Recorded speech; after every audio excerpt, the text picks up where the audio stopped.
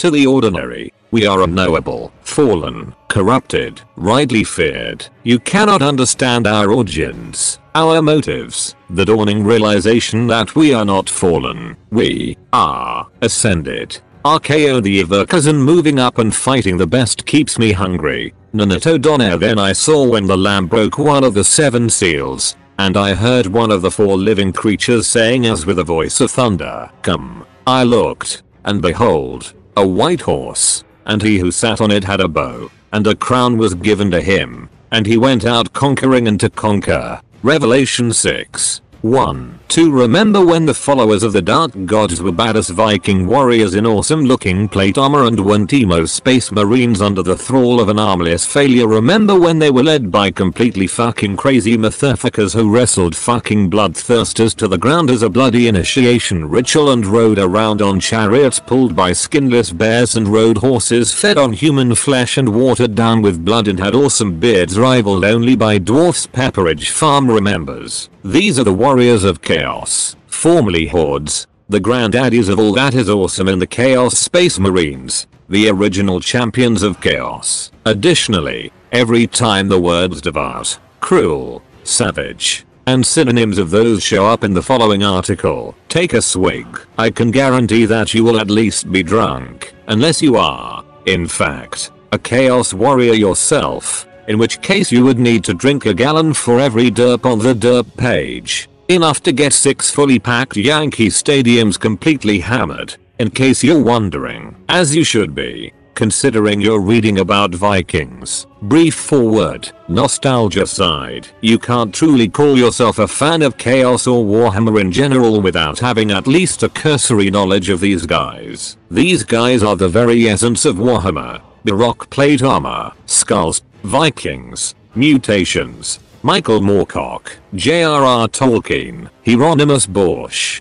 H.P. Lovecraft and heavy metal. Everything that was put in together and left to boil to produce the two most grimdark settings in the history of mankind is encapsulated in these guys. The first edition of Warhammer Fantasy had one of them displayed proudly on it, for Odin's sake. The now legendary Harry the Hammer. The true reason why Warhammer is called Warhammer Check out Harry's new model. It kicks ass. Like it or not, these guys were what forged Warhammer for a lot of people. To this day, no game based on it feels complete without dark armored marauding warriors of the Nordic or sci-fi persuasion. So read on and see their glory in full. TL. DR. Motherfucking Chaos Vikings. Man. If you watch some of the Viking shit that is part of the current minor renaissance in a sword and longboat fantasy that's been going on in television lately, like The Last Kingdom, you might think that the portrayal of Vikings is not that far off, and arguably, it isn't. They got up to some pretty deranged Khornate shit, but of course, history was written by the people who they were murder raping in the name of Corneading. It's pretty much beyond dispute, though, that theirs was a culture very much centered upon raiding. Literally what Viking means. More or less. And being a badass warrior. You couldn't get to Valhalla unless you died with a weapon in hand. Drunken accident old age getting poisoned or stabbed in the back too bad. It's off to Niflheim. The domain of Hel. 1L. That's after the goddess who reigned there. And no, it wasn't hot. It was motherfucking cold, pretty fucking Khornate if you ask me. They are also the only non-imperial guard army to have not been fucked over completely beyond all redemption by the foul Cruddace. Fantasy overview in the beginning. The old ones came to the Warhammer world and set about doing their crazy magical genetic engineering bullshit. Then, for whatever non-reason the polar gates at the top and bottom of the world that they had constructed to ward off chaos gave out and the world was corrupted and consumed by it. Depending on who you ask, either this event is what birthed chaos and the chaos gods, or they came first and helped cause it. Who knows the old ones fucked off and left races of dwarfs and elves and Slann, but a fourth creation also that was not fully equipped to resist the influence of chaos. And of course, this was man. Mankind was unfinished, and the warp stones that flew from the northern polar wastes caused the acceleration of physical and cultural progress and, most importantly, of the human mind. The races of men gained a vigor and fire from the power of chaos that drove them to great heights of glory and caused them to surpass the manufactured races of the old ones. In many ways, the history of chaos is the history of mankind in the Warhammer world, serving as a dark reflection of what corrupted humanity can look like. The civilized soldiers and benevolent order gods of the south mirrored by the barbaric warriors and the cruel, fickle chaos gods of the north. It was only fitting that some tribes amongst humanity would come to worship the various gods of chaos, namely the best known four of them, and a long time ago some others that GW sadly forgot about and another they were contractual forced to forget about. The most notable of these was the Norsii, who would later be feared by all of the old world as the fierce Norse, the most brutal and devout worshippers of chaos. They were joined by their cousins as well, the brutal Kurgan of the eastern steppes and the squat and ferocious, yet anatomically gifted in certain areas, Hung. These are the three great races of men, for it is they alone who are favored by the mighty gods. Together, they are the Northmen, and they shall make the world tremble. On the tabletop, the warriors of chaos tend to be unstoppable close combat powerhouses, as they should be. They're Vikings, with little in the way of range fire support, very melee oriented, even their sorcerers can be thrown into melee and be expected to hold their own. They have very powerful magic that can be used to supplement their incredible power. They have extremely powerful lord choices who might very well be the most powerful generic lords in the game. They have a pretty high points cost, though, so you're going to be outnumbered. On the other hand, that shouldn't bother you too much because they're badasses. The problem is that you have a predictable playstyle and are more or less ineffective if you can't get into melee. Movement phases are important, especially in fantasy, so think about how you move your forces. Despite it being a predictable playstyle, it's still easy to grasp and simple to use, which also makes the warriors a good starting army. Also, because of the low model count since these guys have a large point cost, it doesn't cost that much by GW standards to put a good army together. So, if you like Vikings and spiky armor, get the warriors. The men of the north that twisted northlands of Norsca and the eastern steppes straddle the line between mere mortality and the realm of the immortal, for they the closest to the realms to the foul chaos wastes and the portal that leads to the realm of the chaos gods, known as Rainshim amongst the Norse and a dozen other names amongst those others who dare to treat with chaos. Northman or Southman, the power of chaos has corrupted all the lands of the world, but as the distance from the pole decreases, the influence of chaos increases, and so, the men of Norsca and the Kurgan realms are saturated with the power of the gods. The men who dwell in the Northlands are, for the most part, barbarous and savage compared to those who live in the settled lands to the south. They are not physically unlike other men and, in times of peace, merchants from the north and Kurgan can be found trading their wares in the markets of cosmopolitan cities such as Marienburg in the west and the Hun can be found doing the same in Weijin in the east. Yet, in some other forms, they are unlike their fellows to the south, for they worship evil gods of blood, decay, scheming, and debauchery and live brutal, primitive lives of war. Most lamentably, they all live directly under the shadow of chaos and are slaves to its will. Depending on what version of the law you go with, not all of Norsca is enthralled to chaos. Old material mentions tribes and whole kingdoms living and coexisting with the Southlands,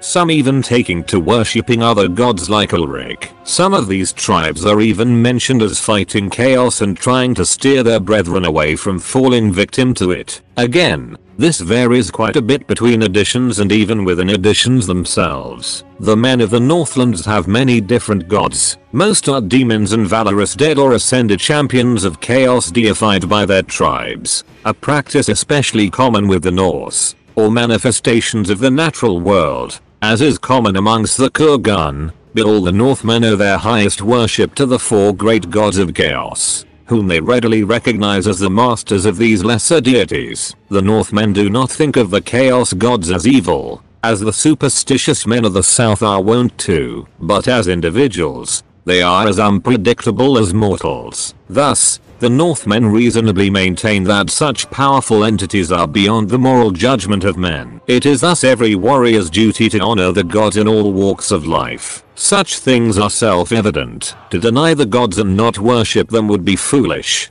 Their existence in the north is a simple fact of life. Evident in the mark of Khorne proudly displayed by a Norscan marauder as he leaps from his longship to savage imperial soldiers with his demonic strength or in the mark of Tzeentch borne by a Kurgan rider as he fells a Kislevite warrior with his newfound blade of bone in place of a hand. To resent this state of affairs would be like resenting the sunrise or the wind. What would it accomplish the four are known by many names amongst the people of the north. Nonetheless, all the gods are recognized by them, and it is not uncommon for the tribes to choose one god amongst them as a patron. The Norse tribes commonly take Khorne as theirs, while some tribes of the Kurgan may choose Tzeentch, who is seen as the father and protector of their kindred. Lesser gods and demons are also worshipped, along with great heroes peculiar to a particular tribe who are often chieftains who died such glorious deaths that they were raised to sit beside the god of their tribe in eternal glory, though they may seem barely civil in times of peace. The Norse, Kurgan and Hung are vicious races of bloodthirsty warriors, used to battling amongst themselves. War is their natural state and they wage it without concern or prejudice. They rejoice in battle and strength at arms, and honor the brave of both sides while despising the cowards likewise. Yet they are willing to forget their differences when the gods command them to fight on their behalf for there is no greater joy than to fight and die in the armies of the immortals. The demon Norse from the harsh Snowlands they come, blonde of hair they are, and blue of eye, and tattoos upon arms and face and chest. Their eyes are mad with bloodlust, for blood they thirst for, driven forth on the whims of the gods they seek to appease, clad in but few garments and wielding clumsy, brutal axes and maces, they rage against the civilized lands of the south, burning, pillaging, looting all before them to offer up a sacrifice to their uncaring masters beyond the gates of hell in the northern wastes. The Liber Chaotica as penned by Richter Kless, former priest of Sigmar the Norse of Norsca are the most brutal, fierce and savage followers of the chaos gods in the Warhammer world. They are the tallest, most physically strong race in the old world, raised amongst a culture that respects only strength and the ability to kill and closeness to the primordial gods. All of Norsca is in the thrall of chaos, corrupting the mountainous wasteland with the essence of change that seeps not only into man and beast but the very ground itself. Mutations are so common as to be universal among the Norscans, seen as signs of blessings from the Chaos Gods. Mighty warbands prowl the mainland and the horrific mountain ranges that connects the lands of the Norse to the Chaos Wastes. The seas about Norsca are filled with massive longships mastered by the terrible Chaos Champions and their kinsmen who stride the seas searching for either artifacts, purchase by which they may wage war against the weak Southlings as demanded by their gods, or merely any other ship to vent their rage upon.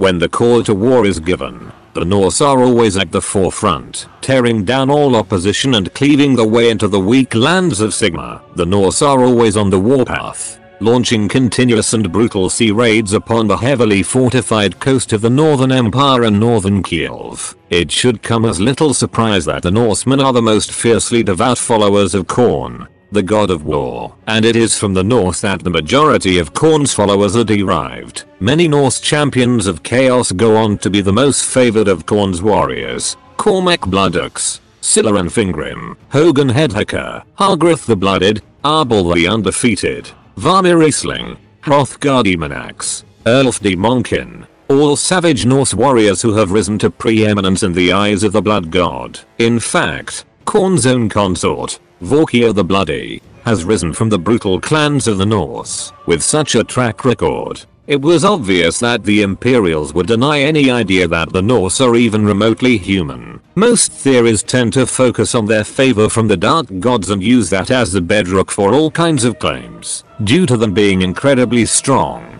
very tall and all warriors, at least, all those encountered commonly by the Imperials are such, and devoted to the dark gods, Imperials have come to the conclusions that the Norse are a race of superhumans, or that they are demons shaped as men, or are half giants. The truth, shaded in the fantastic as it is, is still more interesting. Contrary to what the Imperials historians zealously claim, they are not the first ones to settle in the Reik Basin. Even the Bretonnians and the Nehekharans have held a portion of the land that would later become the heart of the empire. And the ancestors of the Norse were no different, known as the Norsii. Their ancestral homeland was indeed the frozen wastes of Norsca, but some of their kinsmen migrated south to the lands that would become part of the empire. The Norsii were ever the mighty and favored warriors of chaos. As their descendants are, they were prone to waging bloody and terrible war upon the southern tribes, particularly the Eudoses, Teutogens and Ropsmen. The Norsii's reign of terror was only stopped by the hosts of the Southlings gathering to drive them back to their frozen homeland. But from there they would rejoin their kinsmen who still dwelt in the north and return to continue their depredations. It was only Sigmar himself who managed to finally drive the Norsii hordes from the empire, and only barely. It is a telling thing that the first defeat Sigmar ever suffered came at hands of the vicious Norsemen,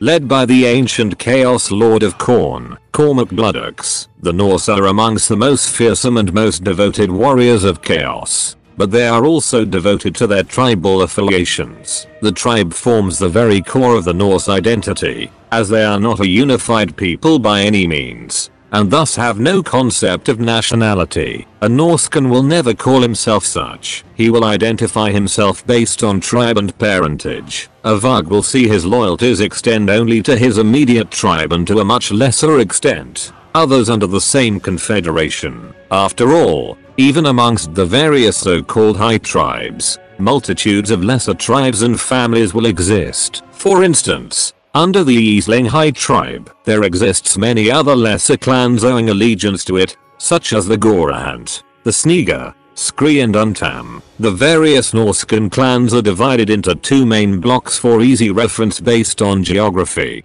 The northern tribes and the southern tribes. The northern Norscan tribes Aeslings, the most dreaded and terrifying and powerful of the Norse high tribes are the Aeslings. They are the most savage and brutal men of Norsca. Even among the other northernmost Northman tribes they are held in fear. Only favor from the gods and strength and excellence at arms are valued. Thus, they are a people who respect only strength and infants who do not measure to their standards of physical perfection are murdered outright with little fuss. While reprehensible, this combined with their constant warfare on others has forged a race who are undoubtedly some of the greatest warriors of all the Northmen. Amongst the Aesling tribes, it is Khorne who is worshipped above all other gods and it is not uncommon for tribes to dedicate themselves solely to him. For even amongst the Norsemen, the Aeslings are a people who thrive on war, while one champion of chaos may master a crew of marauders who bring ruination on Erengrad or Nordland.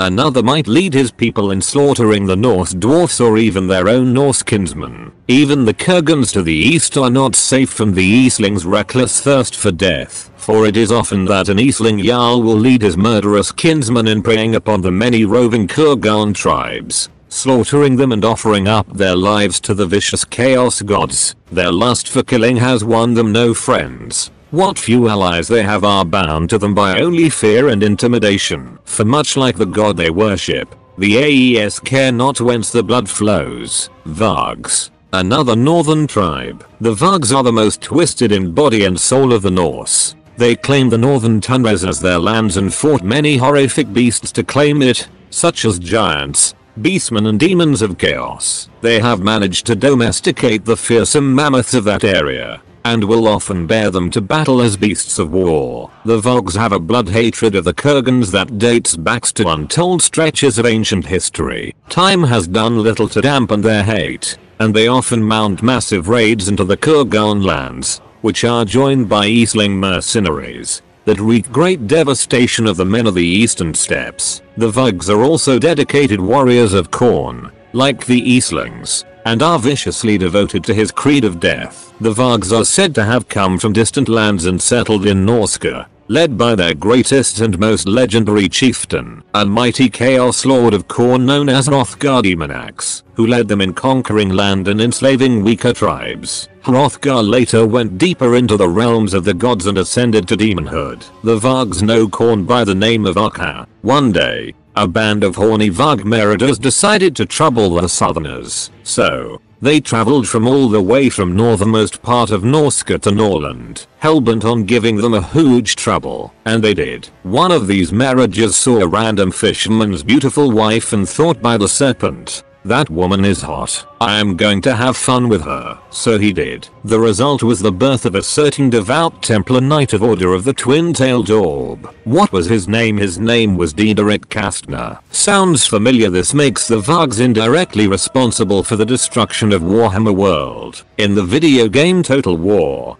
Warhammer, they have a faction up in the northern Norsca led by a chieftain named Surtha beyond your comprehension Ek who is known for slaughtering southerners with the use of massive chariot tactics. Greelings, the last of the northern Norse tribes and the most westerly of the Norse, close to elven lands and prone to raiding those places. They come into conflict with dark elven corsairs frequently in the terror of the villages and fortresses of Clar Karond, though it is also said that when they are not killing them, the Greelings sell slaves culled from the southern lands and off into the dark elves. They do not gravitate to one chaos god over another, but are, like most Northman tribes, prone to celebrating chaos in all its glory. Hargroth the Blooded rose up from this tribe. The southern Norscan tribe Skeelings, sea raiders without equal. The Skeelings are perhaps the most cunning of the Norse. They are the closest of the chaos worshippers to the southern lands, so it is not uncommon to find them raiding the south. During the storm of chaos,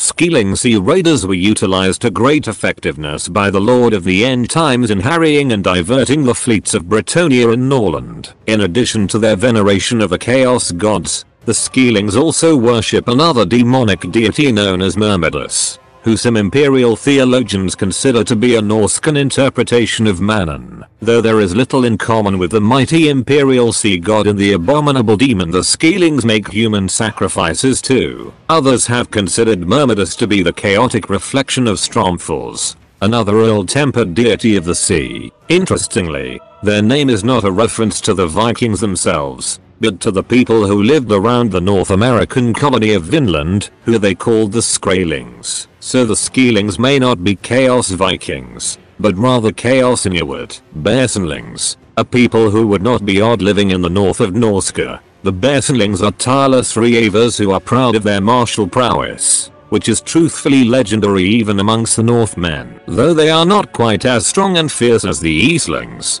they war with them frequently. Their relations with the Kurgan tribes is similarly icy, and their lands often stretch into the fringes of the eastern steppes, which invites war. Not that this disturbs the Bearsenlings. War is just another way to glorify the Chaos Gods. They are known for their copious body hair and a strange chaos mutation that transforms them into unstoppable bear-like monstrosities. Beorg Bearstruck, a powerful champion of chaos, and his marauder tribe, the Bearmen of Urslo, are descended from this strain of the Norse nation. Serals. The Serals are rugged barbarian warriors, mighty and indomitable and devoted to the dark powers. They have distinguished themselves in the armies of the chaos gods often. Wulfric the Wanderer, one of the greatest champions of chaos and executioner of the chaos gods rose from these people. The Soul also destroyed the last and most terrible of the Treeblood, using the bark harvested from the creature to create the second Seafling of Wulfric after the first was lost in a raid on the elves. Oh and this clan was destroyed after Wulfric fucked it up by killing the chieftain's son and rival clan puppet leader to once again incite the civil war between the two. Bjornlings.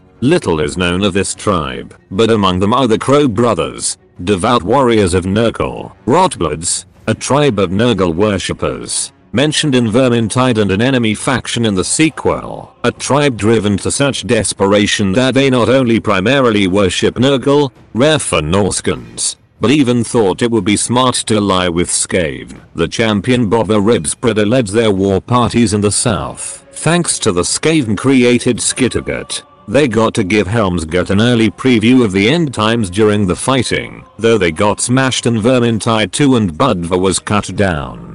So I hear you guys are into thick big titty wafers. Well we got you covered at neckbeardia.co.uk. One stop shop for Kumjar models. However we do sell a lot more than just smut models we got everything for running any fantasy settings and even some not grim dark science fiction models. In fact we even have some anime inspired models and video game. But if models is not your thing we also have some role playing adventures and D&D 5e meme subclasses. Also every video we will be giving away all our homebrew content to a subscriber of the channel. All you got to do to be in with a chance is subscribe. Today's winner is this guy. Well done. Claim your prize by contacting us via email at neckbeardiacontact at gmail.com. Now let's get back to the video.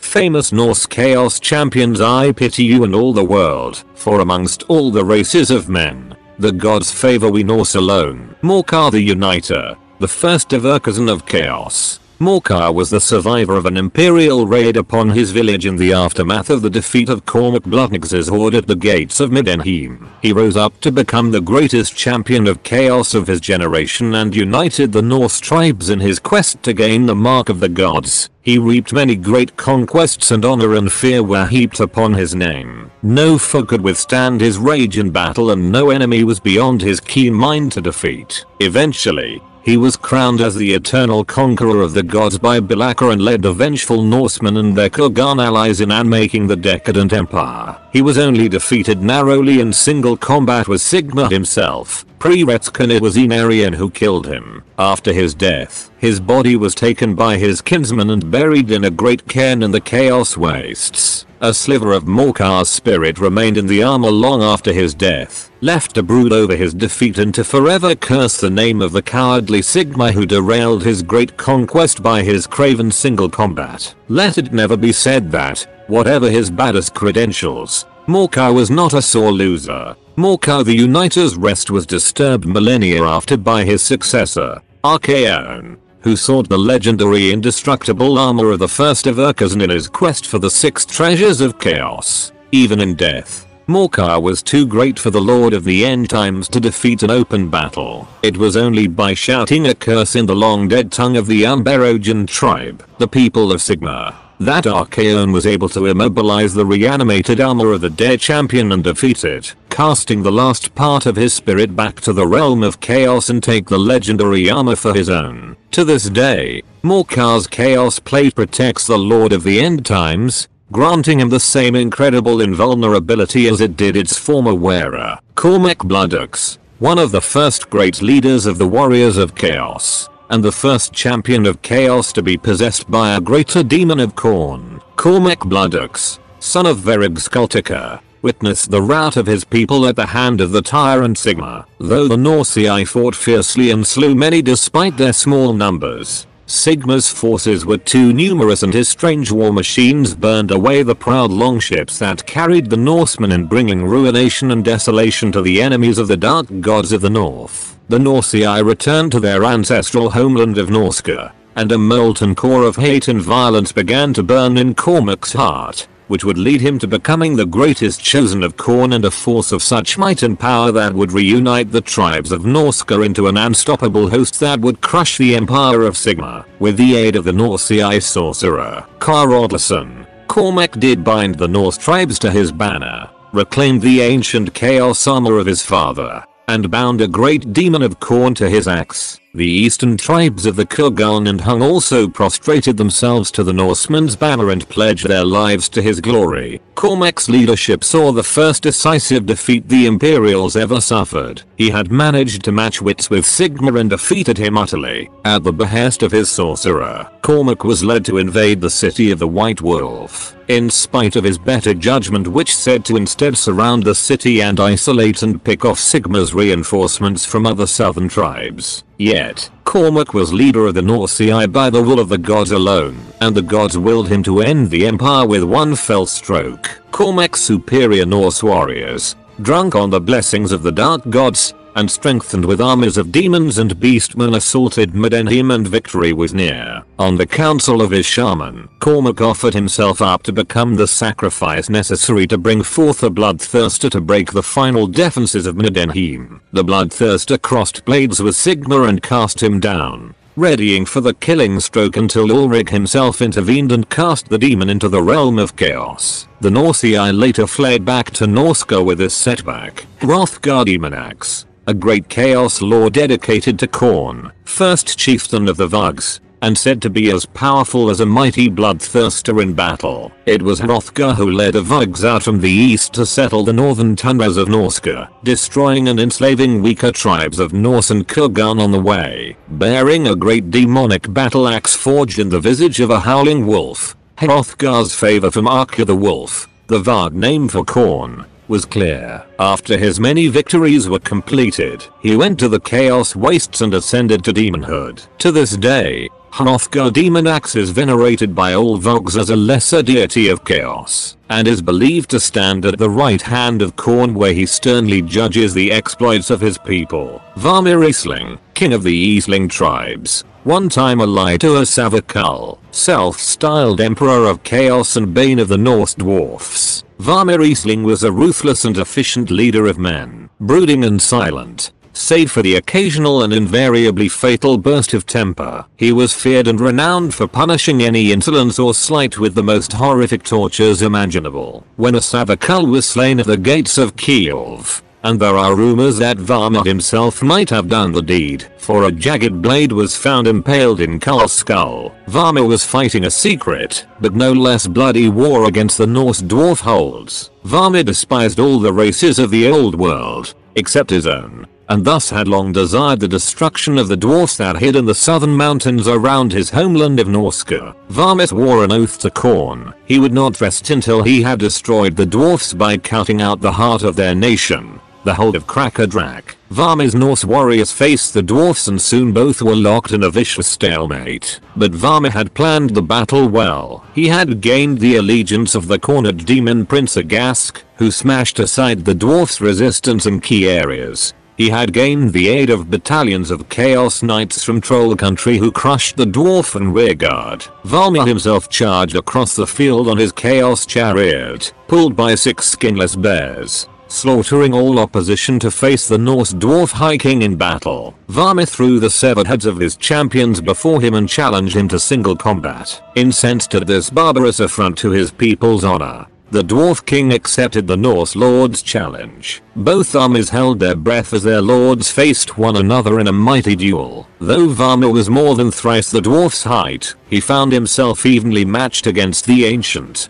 doughty king. Seeing that he could not defeat the Norse king, the dwarf lord shouted one word, cannons. Thus, did the dwarfs fire the great cannons of Kraka-Drak shattering the Norse Chaos Warriors and entombing both them and thousands of dwarfs until the collapsed ruin of what was once the mightiest of the northern dwarf cities. Both Varmir and the Dwarf King had fallen, slain not by each other's steel, but by snow and stone. Yet, the hold was indeed no more, and underneath the ruins, the hardened Norsemen continued on, methodically slaughtering the remaining dwarfs. Varmir, albeit posthumously, had upheld his grim oath. Wulfric the Wanderer, perhaps the greatest warrior to rise up from the Sarl tribes is Wulfric the Wanderer, whose name is spoken in fearful whispers. Once a champion of chaos undivided amongst the Sarls who thwarted the armies of a great Aisling tribe and slew their king, a mighty champion of chaos known as Torgold. Wulfric had made a drunken boast at the battle's end that he was greater than any warrior in this world or the next. After passing out and quaffing no less than 7 barrels of mead, Wulfric found his dreams visited by an emissary of the dark gods he worshipped. The emissary told Wulfric that the gods were displeased with his boastful tongue, but had seen fit to allow him to prove his arrogant words. When he awoke, Wulfric found he had been marked by not one, but all of the four great gods of chaos, and his tongue was ray-shaped into a flitting, forked thing that allowed him to speak in any language. Wulfric claimed his legendary longship, the Sea Fang, from the horde of a scaling chaos sorcerer who he slew in combat. From then on, Wulfric would be known as the Inescapable One, traveling the hinterlands of the world to slay the fiercest creatures at the whims of the gods. Wulfric is perhaps one of the greatest warriors in all the world, for he has slaughtered giants, dragons and merwyrms like cattle and even demons have cowered before him and begged his mercy. He is the executioner of the chaos gods, and is one of their most devout followers. To Khorne he offers up the skulls of those he has slain, to Slaanesh he gives their still beating hearts, to Nurgle the contents of their slit guts, and Tzeentch honors with their final breath. Valkia the Bloody, the sword maiden of the blood god, the bringer of glory, the chooser of the slain and the glory queen of the Norse. Valkia is Khorne's servant who carries the spirits of worthy warriors so that they may fight on forever in the blood god's halls. The sagas of her people tell that she was once a mortal woman, a Norse queen of the ancient and long dead Schwarzwolf tribe. She gained the favor of Khorne by slaying any who dared contest her claim in honorable battle and also by defeating the champions of the lesser chaos gods. Foremost amongst these was Lossafax, a demon prince of Slaanesh who sought to enslave the warrior queen. Valkia felt the berserker rage come upon her and she took up a great spear Slaupnir and struck down the demon and affixed its severed head to her shield. Valkia then traveled to the uttermost north of the world and, with the fanaticism of a true believer, pledged herself utterly to the Axe-Father. Valkia almost succeeded in coming before her beloved god's throne, but was slain like countless others in the twisted hellscape of the realm of chaos. Khorne was displeased, for he had great plans for the woman, and his bellowing fury was so thunderous that it shook the world and roused Valkia from death. Khorne was angry with her weak mortal form and remade her into a being more pleasing to him, a true vision of destructive power. Great bloody wings tore out from her once shapely back. Her legs were refashioned into those of a bloodletter and massive horns rose from her skull. Her only purpose now is to reap more skulls for her mighty lord and to choose the valorous Norsemen dedicated to Khorne who fall fight on at their god's side in the realm of chaos till his rage devours all that exists. When Valkia takes to the mortal skies, all the Norse tribes dedicated to Khorne march under her shadow, for they know that she will carry them to the realms beyond to be Khorne's chosen in the afterlife, a prize beyond all measure, where she flies. Whole lands are drenched in blood, such is the power Khorne has granted her. Skyla Anfingrimm, the saga of the Gorebeast is a long and terrifying one amongst the savage Norse clans. The fame of the Talon of Khorne lives long in the song sung by the skalds of many a Norscan midhall and in the terrified ramblings of those few Imperials who have borne witness to the unstoppable fury of Skyla and survived. Tales told of a hulking beast the color of blood who wears a massive bronze collar and is festooned with the blasphemous ritual marks of Khorne and who lays low all who stand against him with its unquenchable thirst for death. Yet, it was not always so, for the greatest of Khorne's chaos spawn was once a man, once a man. Onsasamayan Ragabthablik, Ahem, was once one of his greatest and most fearsome champions. Anfingrimm was the bane of the old world from his homeland of frozen Norsca to the shores of distant Ind. His name synonymous with victory,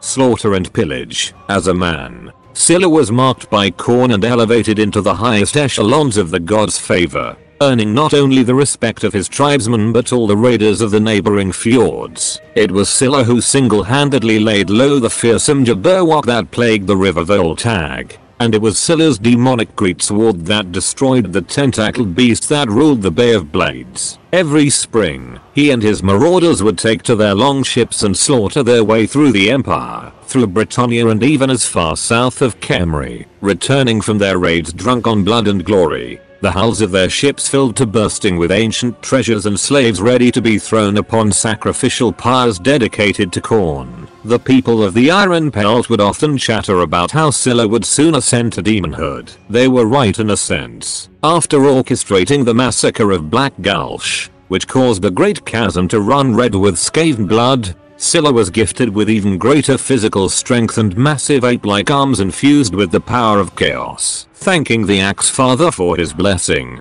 Skyla launched daring raids against the Wardals of Julia Armada, personally reducing their great flagship to splinters. This time, he was gifted a serpentine tail ending with a snapping maw. Skyla's merciless killing of the Chaos Dwarf delegation sent to trade with his tribe resulted in a great profusion of horn-like plates covering his mighty frame. After single-handedly annihilating the bestial gorges of the Undermountain, Khorne was so pleased with Skyla's might that he gifted the champion with the mind of a ravenous beast. With that, Skyla's body spiraled out of control. His transformation into a chaos spawn was complete no Grishiisosks. That day, Skyla fell from a feared and far-famed warlord. His warband fell to the leadership of his second-in-command and next most favored of Khorne. Urlok One Eye. Skyla was still afforded the same respect and honor from his companions. Arguably Morizo. For now he was a living sacrament to Khorne's power and might. Unlike other chaos spawn not again Greg, Skyla remains the favored of Khorne.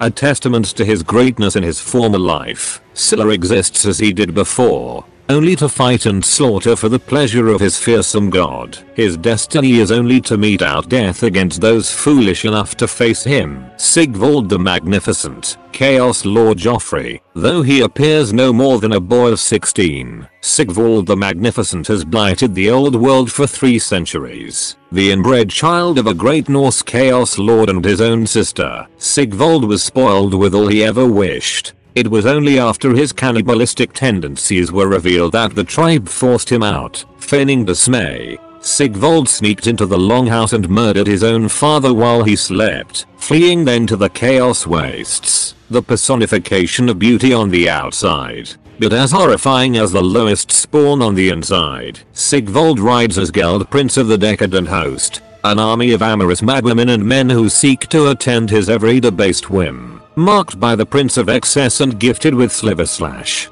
a blade forged from a sliver of the sword of Slaanesh. It is clear to all that Sigvald the Magnificent is the greatest champion of Slaanesh to walk the world. Recently tried to kill all the high elves on the grounds that they must die for having better hair than him. Seriously, this guy is pretty much Joffrey from A Song of Ice and Fire. Both were born from brother-sister incest. Both are handsome blonde men. Both are arrogant and morally repulsive shits. The difference is Sigvald is still alive and even more grimdark. Vilitch the Curseling. Once upon a time, two twins were born. One of them was Thomin, a well-liked, well-built man who was a great warrior and whom everyone expected to become a great leader. The other was Vilitch, a twisted, decrepit freak whom everyone beat up and could only scrape by as some sorcerer's apprentice. Needless to say, Vilitch hated this setup and prayed to Tzeentch for him to switch the twins' destinies. Then, one Jahimna snatched,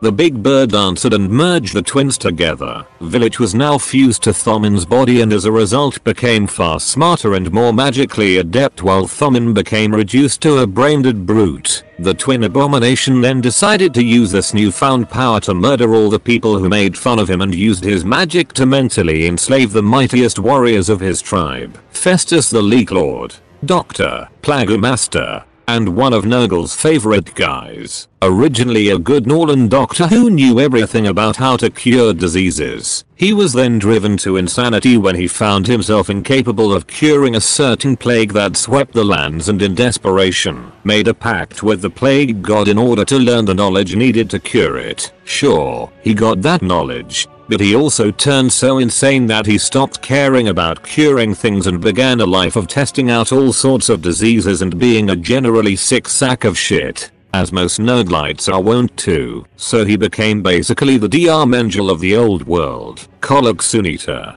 a fucking huge four-legged dragon ogre. He is a massive beast armed with a huge thunder hammer who can crush dragons. He was a living battering ram who also managed to crush bloodthirsters. The Kurgan tribes the Kurgans are nomadic horsemen who reside in the eastern steppes, distantly related to the Ungol and Gospodar peoples of Kislev. This shows in them calling their tribal chieftains Tsar. They are divided into many different tribes, but thousands of years ago they were briefly united into a mighty empire led by the Great Kurgan. This empire lasted only a short time before tearing itself apart in infighting, as the Great Kurgan offered his four sons to the Chaos Gods thus leaving no heirs behind. The Kurgans are notorious slavers, and often force their slaves to fight each other in dueling pits. However, they grant increasing freedoms and status as they win fights, eventually allowing the slave to become a full-fledged member of the tribe. In fact, it is not unknown for former slaves to rise to the rank of Tsar, despite having the largest territory and being said to be the most numerous members of Chaos Mortal Forces. They are generally sidelined in favor of Norscans. Chalk it up to old world bias. Khazags, they're known as the guys who had first tamed the war mammoths, actually refused to worship chaos until a single evil member of the tribe conquered them and enslaved the giant mammoth they worshipped as their deity, creatively named after Kazakh nation. Dolgans, the guys of Kurgan. They hate every other chaos affiliated tribe as much as the southerners and prefer to kill everyone who isn't Dolgan on sight. Some of them, thankfully, managed to avoid the god corruption and now live in Kislev, though their population is declining. Iron Wolves, an interesting tribe because it's only partially Kurgan. These fairies also have a Norse ancestry, descending from the Vikings whose asses were kicked by Sigmar so hard they had to run to the eastern steppes. They are resented by both ancestral tribes and generally think of themselves as independent people. Kull, yeah, those Kull. They're probably the strongest Kurgan tribe that constantly raids the shit out of the neighbors and have a well developed slavery system. They're also interesting for their complicated religious views, as they do not swear themselves to one of four major gods, instead praying to 100 gods and seeking the favor of all of them. So, pretty much these guys. Asavar Kul, Tsar of the Kull, was the 12th Everchosen of Chaos who fought during the Great War against Chaos leading the Chaos forces. After Asava died, his successor was usurped and murdered by Vardek Krom, who is the current Tsar, Tamux, Tokmas, Usak etc really minor tribes that are barely mentioned in the lore. The Kurgan characters the Great Kurgan, Genghis Khan of Kurgans who is only mentioned in Tamurkhan, Throne of Chaos supplements. He did the unthinkable and managed to unite all of the tribes, creating a truly gigantic empire that managed to beat Hung, Hobgoblins and Cathay. Impressive. He was also the first Kurgan chieftain to make a deal with Chaos to get their power on his side though eventually they fucked him over. Asavar Kul gets shit done, managed to cripple Kislev for centuries way before both Archaon and Failbaden even managed to do something meaningful. Tamurkhan, a Nurglite warrior riding a toad, who is a protagonist of the narrative-driven campaign of the same name, claimed to be one of the four missing sons of the Great Kurgan. Surtha Lenk, Minot Sceneshite Warlord and the commander of Archaon's vanguard, took part in destruction of Kislev and Ostland during the end times. Vardek Krom, current Kull chieftain, Tsar, and the herald of Everchosen, Sayl the Faithless, ruler of the Dolgan tribe, named for the fact he refused to pledge allegiance to a single chaos god and instead made deals with and betrayed patrons as suited his lust for power. The Hungdom Kurgan is bad, but the Hung, they just nasty. Gorg, famous ogre philosopher we make deal. Yes you give us gold and women. We no attack. You not give enough gold or women. So we attack. We attack anyway. We make deal. Yes average hung diplomat.